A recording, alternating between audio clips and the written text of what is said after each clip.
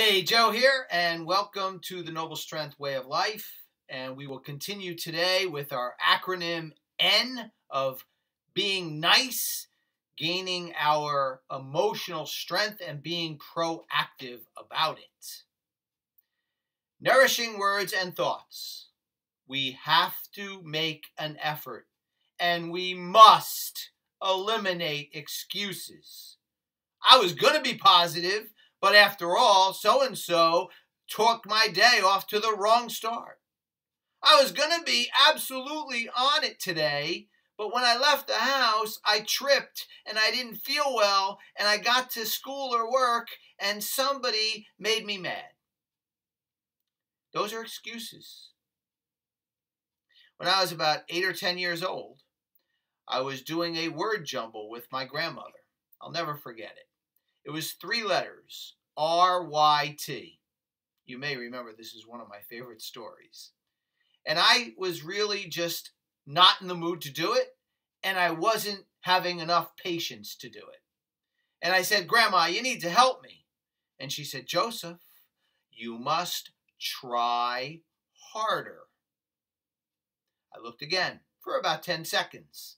And I went back to her and said, Grandma, I'm not getting it. And she said, Joseph, you need to try.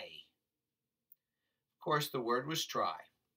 And then she gave me a very valuable lesson and said, Joseph, you must have patience and you must always try your best. People will be there to help you, but you really need to try for yourself first.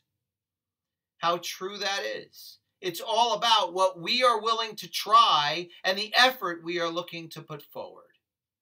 And yes, patience is necessary and trying hard for consistent, nourishing words and actions. So when you're thinking that patience is impossible, think of the animals that are languishing in shelters. They may seem impatient to you, but by comparison to us humans, they are truly working very hard, trying very hard to have patience and a good outlook.